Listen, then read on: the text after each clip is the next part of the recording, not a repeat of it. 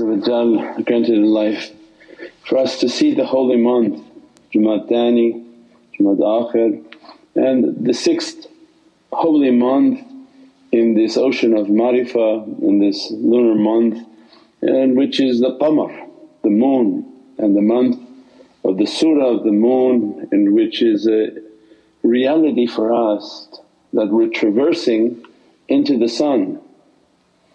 And just recently they made a scientific vehicle that they say traversed into the sun. And alhamdulillah that same theory is Shamsul Arifin, is the sun of all knowledges. And the reality and the source of, of all these realities that are emanating, the Divinely reality that emanate from the heart of the universal soul and that that is the sun for all created universes, not even the sun that we see here but the sun that is in the center of all created universes. We are traversing with our soul into the reality of that. And as a result Allah has for us to come to the 54th surah on the month of Wadud, the month of six and the reality of six in the huruf is a waw and everything is established from this ocean of Divinely love and only by that Divinely love I was a treasure wanting to be known. And Allah wants to be known in this Divinely ocean of ishq and muhabbat and we said before that it can only be dressed by the beatific character. If the character is gold it can carry that reality, if the character is plastic and styrofoam it burns right through, that reality burns through it and it's not a vessel in which to carry that reality. So the turuqs come to teach us the adab and the manners and then Allah has us on this month stopping at Surat al-Qamar to remind us that your path is to be the moon. So exemplify yourself and take your example from my creation because Allah says, the signs within you and signs on the horizon. And many times they've taught that the sign upon the horizon is much easier to understand because people may not be reflecting internally truthfully to themselves. But on the horizon we can't manipulate so the horizon teaches us because this Allah's direct hand. So you look to the moon as what you should be. So it doesn't matter what a guru teach, what is this teacher teaching, what is that one teaching because everyone has a philosophy. But Allah is teaching that the teacher should be an exemplar and an example from the moon. And the teacher should not be claiming any light of his own, any power of his own, anything of his own. And if he does it right then you negate yourself and you're merely a reflection of the source and you are not the source. So the moon is giving us that example. We benefit from its light, or our the tides of this earth go up and down, our, our blood, our psychology, everything is affected by moonlight. And you look at the moon and it claims nothing, it shows itself in a very casual appearance and that becomes the example of the path that Allah in this journey you know you keep stopping at these different months. So when this tour stops on this month it's all about the understanding of the qamar and the moon that your, your guidance and who you should be is like a moon that tested, tried because you look to the moon it's been battered, it has been attacked by every type of difficulty, there's no structures upon it. As a result it, it hasn't had a, a structure that's extremely visible, not like the earth and as a result it reflects the sunlight in perfection. And all of these the Dajjal will be attacking, all these haqqaiqs. They'll describe the moon as something else it's like a ship and a, and a spaceship that's flowing and there's this and there's that and every haqqaiq is going to come in a different direction and that becomes the great deceit. And Allah is reminding for us the Shamsi wal Qamar, Shams is the diya and the fire is the fire that Nabi Musa was moving towards. And all of creation Allah describes to them that you move to that light but you have to have the character of the moon of qamar. So qamar nurun wa shamsun diyaun that the sun is a fire nar and the moon is a light of reflection, not a source itself. And that's what we talked about the nights before of juzba, of magnetism. So you're not a source of knowledge, you're not a source of light because at this point Allah is clarifying before you go any further on your journey is that you're nothing. So you continuously negate the self that, I've nothing Ya Rabbi, whatever you bestow upon me it's merely a reflection from the source. And that's why the talk earlier was about magnetism. If you're not of a magnetic connection and you didn't make the connection and negate yourself, you're reflecting a little from the source but more from you. And that's what some people have little bit of understanding and they mix it into something as a confusing dish that nobody can get guided by and many will be lost by it. Because too much of themself is reflecting and little from the source. So the moon then is a proof that you have to have been tested. So you don't just appear on the scene and you go out and you say, I'm a moon. So no, who smashed you? So what type of difficulties and calamities and testing and all sorts of… that's why the tariqah is based on tarbiyah. The tarbiyah is mean the shaykh when he signs an ijazah he's basically signing that I have flipped this person all over the place. Put him in every type of difficult situation as a result they still came out with that credibility and as a result we are sending that support. So it's not something that's the whole understanding is that when you want to reach to a reality, the reality is teaching everybody about itself. These are stages in which the servant negates themselves. They've been tested in negation, they've been tested with difficulties and the shaykhs taught them, be patient, have good character, talk kindly. Even they posted recently, we entered into this moon, immediately people whom are inspired and maybe not inspired but the shaykh's overwhelming inspiration pushes them and talks about who's one whom has good character. And it was a dialogue between Shaykh Nazim and Shaykh Dagestani. And Shaykh Nazim asked Shaykh Dagestani, who's somebody who has good character? And the person who has good character, does he complain? And Shaykh Dagestani's response is, absolutely not because they're talking of the good character of awliya. That the one whom been trained and has good character must always remind themselves there's no complaining. That the contentment of the servant is that if they know that they're submitting, they know they have a divine love, they know that they're in the hands of Allah who are you complaining to and what are you complaining for? But if you're not one with good character he described then you're like a person with like boils and blisters all over you. That as soon as somebody touch you you're screaming and yelling all sorts of things because it's just you're, you're filled with that difficulty all over yourself.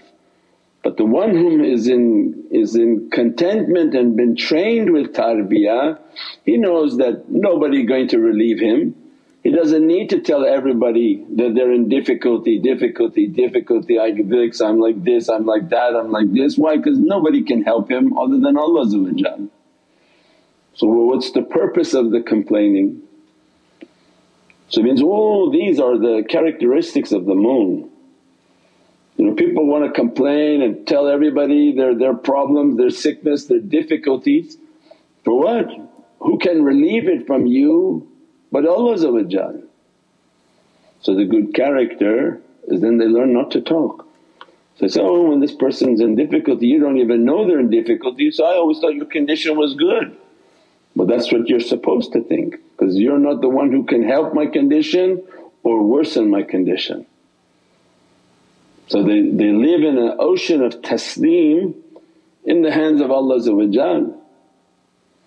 or they wish and inspire to be like that and this is what their shaykhs taught to them.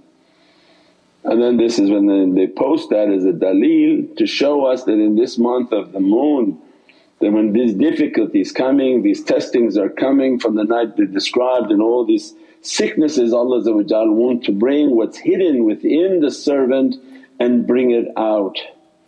What's sickness within them, if Allah doesn't send that light upon them that pushes out all the badness, قُلْ جَاءَ الْحَقُّ وَزَهَقَ الْبَاطِلُ Right? So when the haqq is going to come and the month of Qamar is the lights of Allah reflect upon all of the moons of this nation. Their lights reflect upon this earth and the truth comes when it hits the falsehood of everybody's personality they're not sitting there together happy. The light comes in and by its force pushes everything out blisters, boils, sickness, everything has to come out. Zahuqan Allah that the falsehood you carry within us is all of a falsehood and it's nothing to be stand in the presence of the, the light of truth. It can't, it can't fight back. The falsehood has nothing that it can hold on to and immediately is obliterated coming out with all of these sicknesses and all these difficulties. So then this journey is into that light and into that reality and even Allah have servants that not been taught or, or they're, they're not understanding to tune in to get the understanding of their path and Allah loves His creation equally. So they're all going through it. But sad for the one whom doesn't understand the situation because not following the coordinates of the heart to go and sit with those who have guidance. So the one whom Allah guides is a tremendous blessing because then they can stop and understand that every step of this difficulty, uh-huh, I'm not being attacked, Allah loves me and Allah wants me to be patient. So He gives us all these coordinates is a true is a huge blessing in our lives. Because on the other side people are equally receiving all of these same difficulties but they have no understanding whatsoever what's going on and just from every direction there's some sort of craziness happening until they mentally break down, physically break down and every type of faculty within them is just not functioning anymore. Go in, go out, go in, go out, you're sick, you're cold, you lost your job, you lost your… They, they, people will jump off bridges they can't sit at home, they can't do anything anymore. So the true ni'mat and the blessings of Allah that sit with them and they'll teach you what's coming, what tajallis are coming, what lights are coming, what, what verse of Qur'an is dressing, what chapter of Holy Qur'an is dressing this, this universe, this earth because those are the unspoken, uncreated words of Allah uncreated words of Allah that coming through the Muhammadan heart which means is the isharat and the guidance of Sayyidina Muhammad for the entire universe. Fatiullah is in the heart of Prophet and that becomes the Qur'an once it is, it meets to the lisan and the, the tongue of that reality when it meets the atiullah, the command of Allah it becomes atiya Rasul. Soon as Prophet's isharat is coming out from his Divinely heart, the entire universe is taking its commands and those are all the ulul amr. From all the categories that Allah has created of the servants of the Divine from the angels to the spirits to the jinn to the saints all of them are following that command. So then that guidance to be understood that this month under the command of Holy Qur'an and Surat al-Qamar and that Allah is sending these lights upon this earth and that to cleanse and wash out fat abwab as-sama we're opening these lights from paradises and from the soul's realities to wash out all the badness. Like when the house is dirty and you turn the hose on and everything you just wash out all the marble floors, wash everything out and all the dirt that is coming out because it's not going to be clean and that becomes the sicknesses of mankind these dirts that they're, they're poisons and toxins that come out of their, their body and their spirit. So as a result then what coming in the next month is the holy month of Rajab where the inner reality and the inner heart of the Divine the Presence is going to begin to emanate. And what surah for Surah Al-Rajab is munafiqeen. Because all this reality is based on the inner and not the outer the last two, three weeks it's all about the inner. Hmm? The outer demon and the outer devil is not the one that you fear because the real fight is the inner devil, the inner hypocrite, the inner bad characteristic. If that one is not dealt with that will call all the outer devils, that will call all the sicknesses, that one will call all the difficulties to come.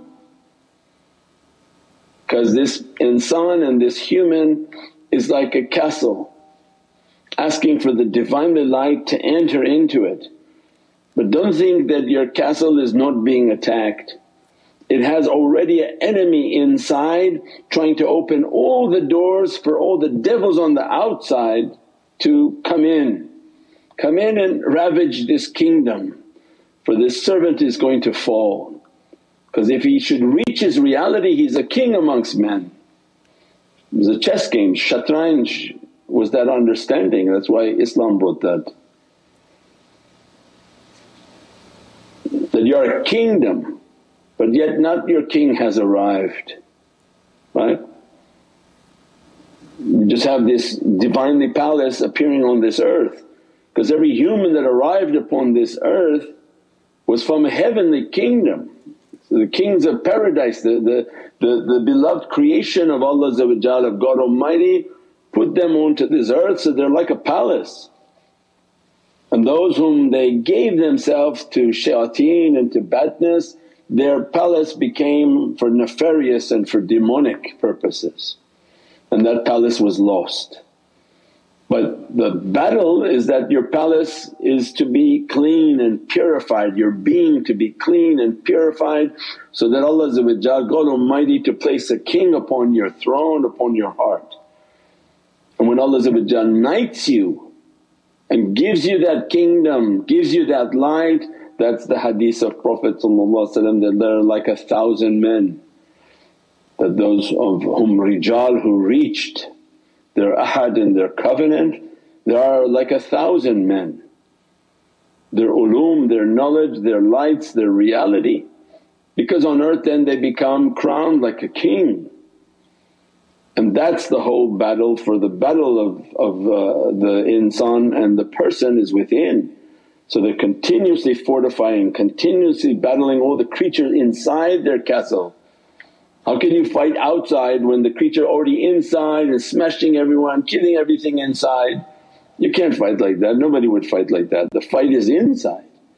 And that's why Prophet described that the inner battle why? Because in the presence of Sayyidina Muhammad just the mere light of the prophetic reality annihilated all of that could you stand in the presence of Sayyidina Muhammad and that light with love and bringing that love, that light would enter and annihilate everything. But he told the companions at the time that, when I'm not amongst you physically but I'm always with you but when I'm not with you physically that is your greatest battle for the nations that are coming that will be following my nation. Why? Because they're they got completely possessed with all sorts of shayateen and they're not bringing the light inside them. They don't have that reflection to, to, to destroy every type of evilness. So then they have to fight and go inside and fight and struggle and, and do their muraqabah, do their energy, do their practices and that was the reality of wudu, that was the reality of salah, that was the reality of everything. So these courses are teaching all the basic Islam but giving you the, the depth of its understanding so that your nafs don't say, why I gotta wash, uh, oh uh, Islam has washing, oh because it's all based on these energies. How could you not wash your house, your clothes, yourself, anything? It would be filled with filth. Then what would be the purpose of your, your praying if you're all filthied out? So it means the reality of wudu, the reality of salah, all of this is in these teachings of energy and, and the cleansing and, and destroying the inner enemy to bring out the outer reality and then begin to go after the outer reality because once the inner reality is being cleaned and those demons are lessened and destroyed then what happens? Then there's a very powerful battle for the outside. So that's why then these difficulties, these testings and the people whom they're compliant, complacent or happy with their bad character then that's a difficult, difficult thing. So people like it, they don't like it, they don't want to hear the uh, understanding and the, and the teachings, Allah will clean. Because the bad character means there's still demonic forces inside and they're not letting go. And Allah will clean the servant. So people don't want to listen or listen it doesn't matter, this is just a ni'mat and a guidance from within the heavens that if you clean inside and take that path of spiritual cleansing then you have the ability maybe to survive the difficulties that are coming upon this earth and the ability to contain the lights necessary to be with Imam Mahdi and Mahdiyun because this is a time of immense light and immense blessings coming upon this earth. And those lights are not going to be filled with uh, hypocrisies and, and dirtinesses and, and bad characteristics those will have also already gone to the different side. Those who give themselves to demonic forces then they have given themselves. There'll be no more grey, it will be white and black. Those whom have given themselves to the darkness they are fully committed to that darkness and those whom have given themselves to the light Allah will intensely purify them to be worthy of being in the presence of Sayyidina Mahdi salam inshaAllah. We pray that Allah give us a hikmah and a wisdom and a himmah, a zeal in which to accomplish these realities that are coming in very strong. These next few months should be immensely, immensely strong. As you see the earth will be blanketed with this sickness as Allah cleans and cleanses all His creation. Subhana rabbika rabbil izzati amma yasifoon wa salaamun al mursaleen والحمد لله رب العالمين. بحرمة محمد المصطفى وبسير سورة الفاتحة.